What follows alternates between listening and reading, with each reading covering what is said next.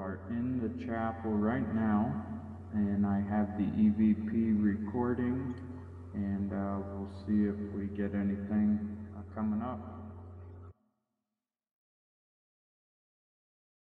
Uh, so, uh, right over in this side here is the uh, front door area where you walk in. There's a desk here, uh, so I'm headed up that way right now.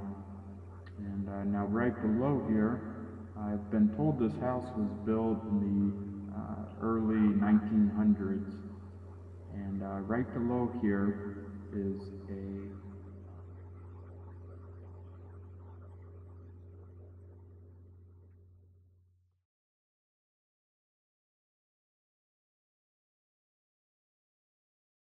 house was built in the uh, early 1900s.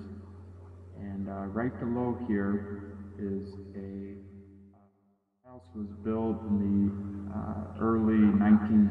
And uh,